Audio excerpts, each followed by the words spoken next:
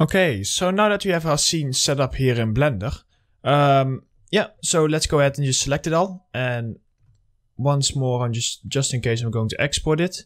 So I'm going to export this in exports and final render. There we go. So yeah, that's now exported. Now what we're going to do is we are going to jump into Marmoset. Now in Marmoset, I have this scene. So the reason I chose to do this, this is uh, pretty much like a setup scene already, as in lighting.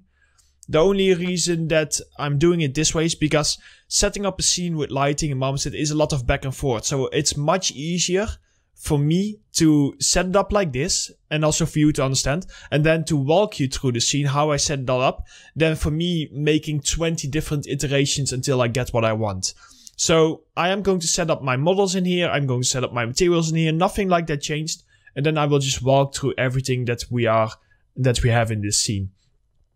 So the first thing that I want to do is I just want to go into my exports folder and here we have our final render. Let's just drop that right in.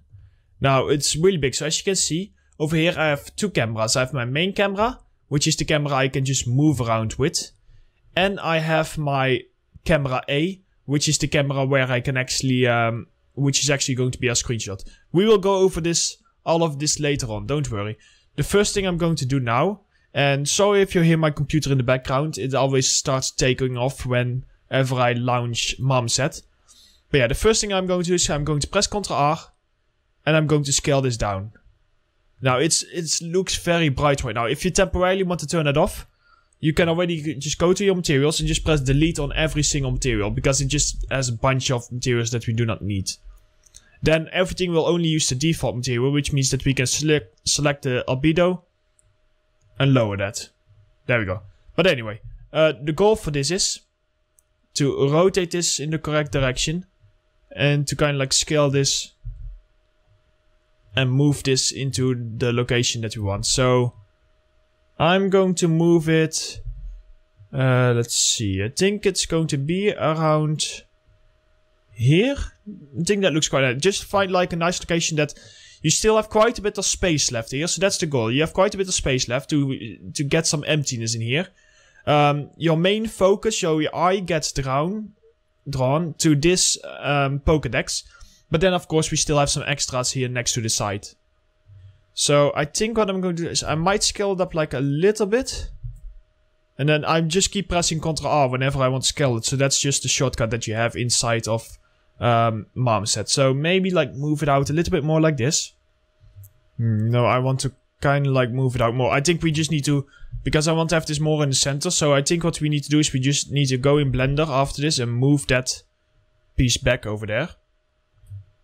So yeah, let's rotate it a bit more and move it a little bit more in the center. Uh, think something like this should work. So maybe we just move it forward a bit and a little bit more to the side.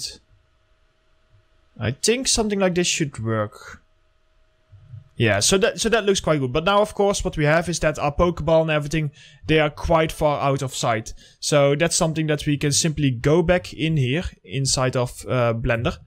And if we just grab this, these pieces, I'm just going to move them a bit forward and a bit back, I believe. So forward and back, so that will show that. And for the rest, we do need to, of course, double check later on when our materials are on here, how everything looks. So let's start with this. Let's export this. Final render. Let's go in here. Uh, let's move it. Let's rotate it a tiny bit and move it a little bit closer. And then I'm going to just add my materials and then we can balance it out later on. So yeah, this might be a little bit of back and forth. You can do the movement inside of Marmoset, which I might do. It's just because this piece has like a lot of different pieces. Uh, which actually, you know what, I can set that now.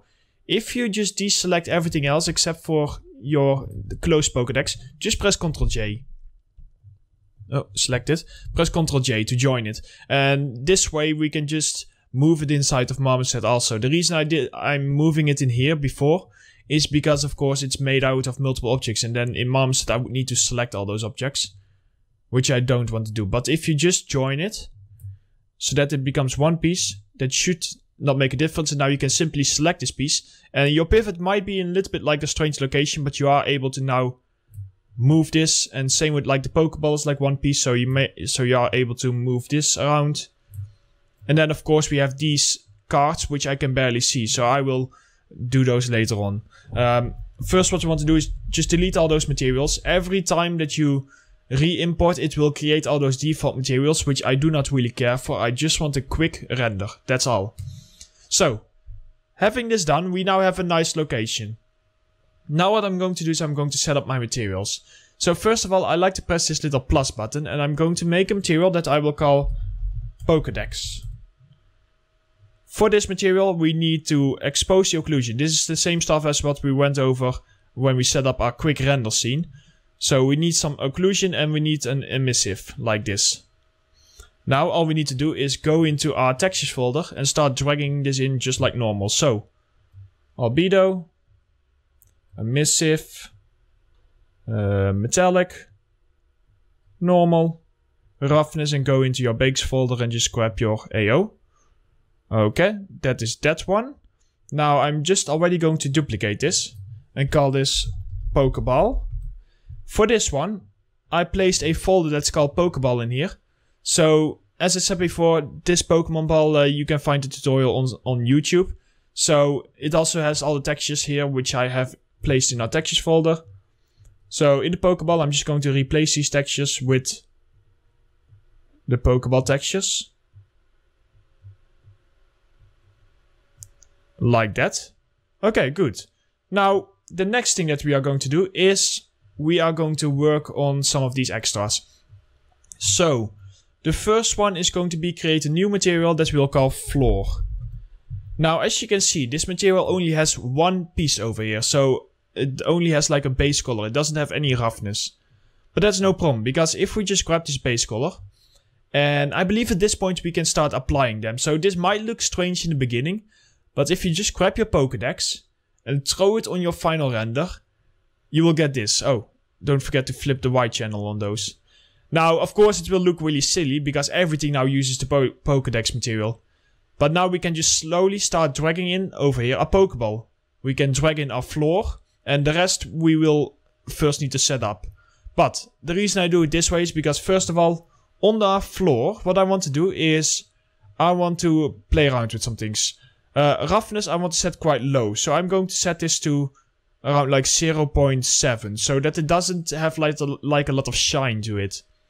Then, as I said before, the reason we didn't do the texture tiling inside the Blender is, we, is because we can very easily go in here and set the texture tiling very low. So for example, let's set it to like 8 or maybe 9. Uh, I'm gonna go for probably I think 8. Let's go for 8. So this way here, you can even use the slider, you can simply set the texture tiling. But try to keep it even numbers, just uh, just for because it makes sense.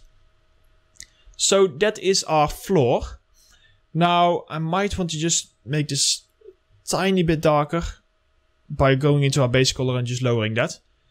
Cool. Okay, so the next thing that we are going to do is we are going to right click and duplicate the floor and call this paper. Now, if we just go ahead and go to extras and we want to pick the paper underscore cut. Place that in your albedo. And you can already go and apply this to your paper. Now, first things first is we need to go in here and we need to set the texture tiling back to 1. Because this one has unique textures. The second thing would be that we have an alpha in here. Um, I will actually open up Photoshop so that I can show you. So here we are in Photoshop. So as you can see, looks like a normal piece of paper. However, if you go in channels, all I did was I pressed this little plus button to create an alpha channel. And in this alpha channel, I just picked a black brush and I just placed some dots here. Now, what happens then is those dots will actually be cut out, meaning that you will not be able to see that, which will give us the effect as if this, that this is perforated paper. So I will show you what that does. If we now go in here in our material and go to transparency and cut out, we can pick our um, paper underscore cut and you can see here, here it's better if I show you, see? Dots. So without, oh, uh, without and with. So I'm just going to quickly undo this because I want to keep my paper, of course, in the same location. So yeah, that's just one way of showing you how we can do the paper. Now, you can, of course, play around with the paper a bit, maybe like move it around a bit. Maybe I'm actually going to scale it up a little bit. I know that you can't really see the dots that much anymore, but it's... Uh, I'm more focused on the Pikachu than the dots, so... I just want to get my Pikachu nicely in view here, because I think that looks quite fun. Okay, next thing. Um, let's very quickly go into our Pokedex and set our emissive a bit higher. Let's set it to like... Maybe like 3? Yeah, uh... 2.5. 2.5. And then go to our Pokeball and set the emissive a bit higher to maybe like 4-ish. There we go. Okay, uh, paper. So, we can simply go ahead and maybe lower down the roughness because paper is often very dull. And then we can duplicate this and call this... Uh, I'm just going to call it cards. This one, very similar. We just have the Pokemon cards, which just masks out everything except for the cards. So you can just plug these in. And when I say masks out everything except for the cards, uh, only thing I really mean is that if you go in here, it just cuts off like these little corners that we have over there. But for the rest, it's just the basic texture from Google that just shows some cards. So, having that, um, for our cards, we can simply go ahead and drag those on here. Yikes, wrong one. Uh, at this point, I you could also just quickly swap to your main camera. Here at the top, and then you can just make sure that all your cards are selected. There we go. So, our scene. If we have a look. So as you can see, we have two cameras. We have our main camera, which uh, is the one that I can just move around. And then I simply duplicated that camera with pressing Ctrl D. And that camera has this view. Now I put a little lock on it. How do you get this view? Very easy. All you need to do on this camera is turn on safety frames. Here I'll turn off the lock. Basically lock means that I can no longer move it. But if I turn off the lock, I want to turn on safety frames. As you can see, and I want to set those to 1. Now, the way that you can control where these safety frames are is very simple. You go to capture and settings. And in here, you just want to make sure that the width and the height are even.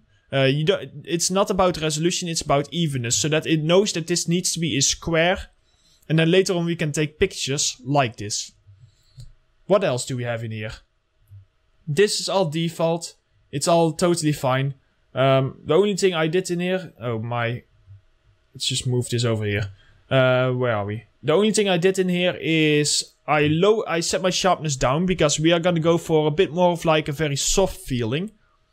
I set my bloom down because I also don't really want to have too much bloom. And I set my vignetting down. So for now this is... We might want to balance this out a little bit more. Maybe give like a tiny bit of bloom. But we'll get to that. The, the most important thing is our sky.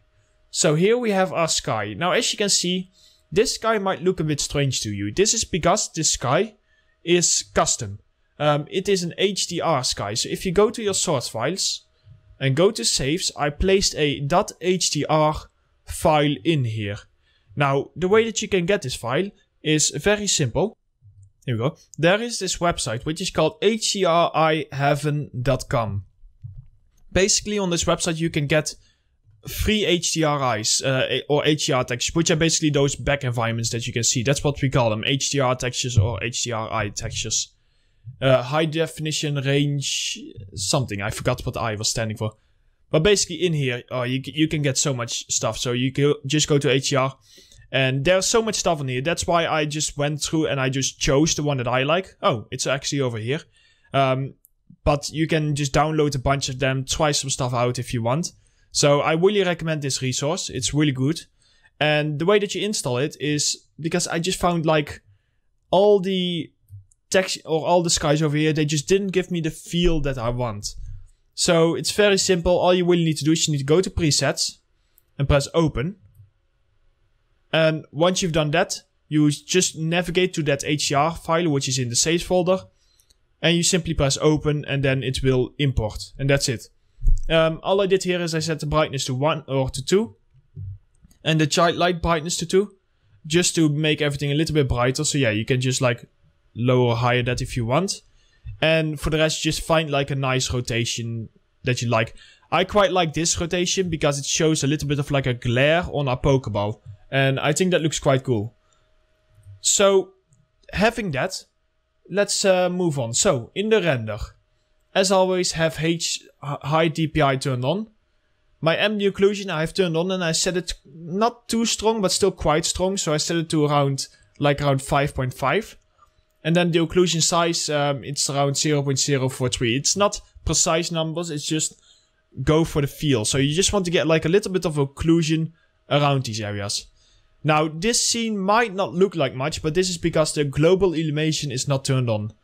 When I turn this on, uh, my computer will start to cry a little bit, uh, because my graphics card is a little bit outdated. I'm waiting for an up for an upgrade.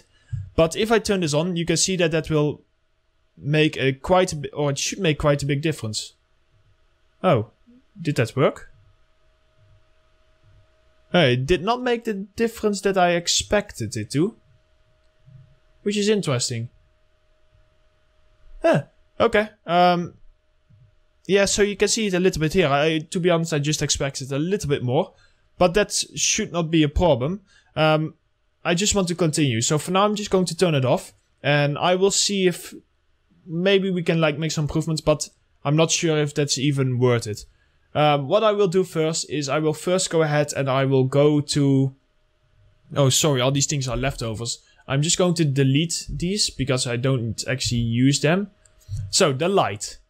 If we go to our main camera, I only placed one light to keep it very simple. It's a very simple spotlight, which you can simply do by going down here. And it will create a light. And then just rotate it and move it around however you want. I place this light quite high and quite far away so that you cannot actually see the ring that is around it from your view. Here, see? So it's just like a nice overall lighting. I then simply set the brightness to 1.5 and kept the color to be white. The distance I set really high so that um, it's just covering every single thing. And then in the shape, this is the one thing that is a little bit important, is I set the width a bit higher to around 2.6. What this does is, as you can see over here, it will soften out your shadows a little bit. So setting this to 2.6 will just make your shadows a little bit softer. And that's uh, kind of what I wanted. So that looks quite nice and cool. And that is about it. Um, maybe we can just give it like the tiniest bit of like an orange color here. So just give it like a tiny bit of an orange just to make everything feel a little bit warmer. And for the rest, if I just look back, let's have a look. Did I miss anything? No. So we have our GI over here, which um, I am surprised about that it does not... Let's sh show the voxels. When we show the voxels... Oh, hey, look at that. So something is wrong. I knew that. Let me just have a look at this, because this is quite strange that it is not able to, for some reason, read that. I've actually never had this problem before. Here, see, so it's, it was able to read like a little bit. Oh no, wait, maybe it is. Maybe it's just my view. If I go and turn off the voxels now. See, that, that is the change that I was looking for. I am interested to see why this change does not... Here, see, because that's quite a big difference, don't you think? So I am interested to see why my camera is not making this change. Um, I am actually gonna go ahead and I will look at this off camera because this is actually a problem that I've never had before. So what I will probably do is I will just recreate this camera. And hopefully... Yeah, I will need to recreate this camera and hopefully that will improve things. So one second and I will get back to you about why this is happening. Because this is new. I have never had this before. Okay, so that is really strange. So I literally just duplicated my main camera, as you can see. And I just placed it in the same position by copying over the transforms, which you can find at the top, uh, between the two cameras. So I'm going to delete the old one. If I can. There we go. And just call this um, Cam A. I honestly have no idea. That, that has never happened to me before. But that's just how it goes. Whenever you make a tutorial, that's when the problems come that you never had before. So now if we turn it on, here you can see. So that's quite a big difference as you can see.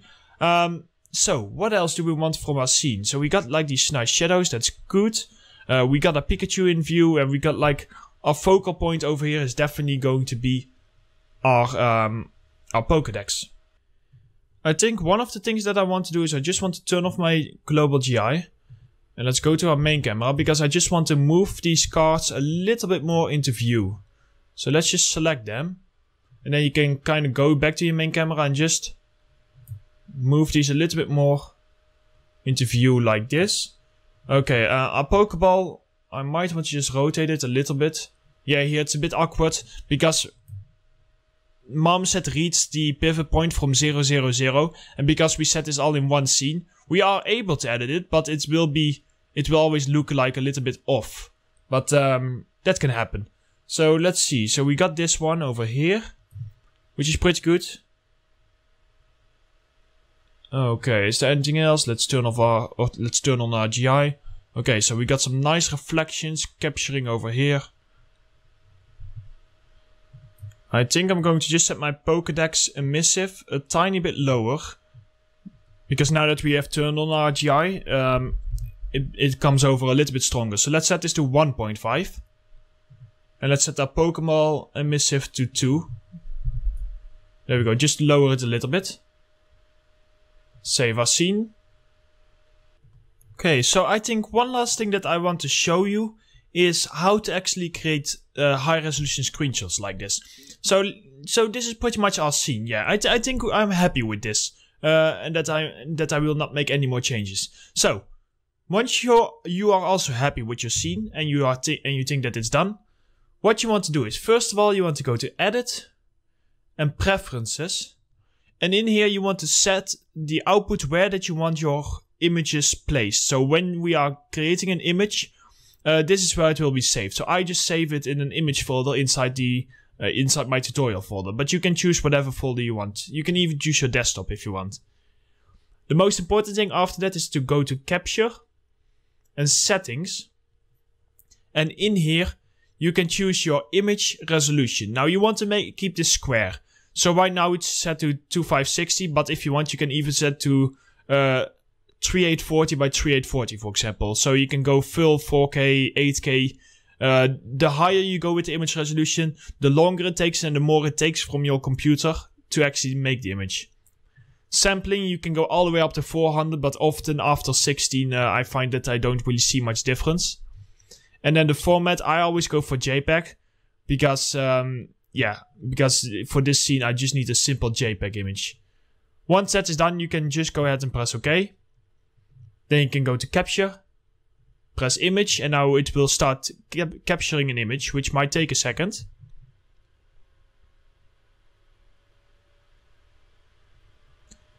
But once that is done, you can go to your folder and there you go. You now have a nice high resolution image, so high that we can even see all the little uh, details like our fingerprints and everything.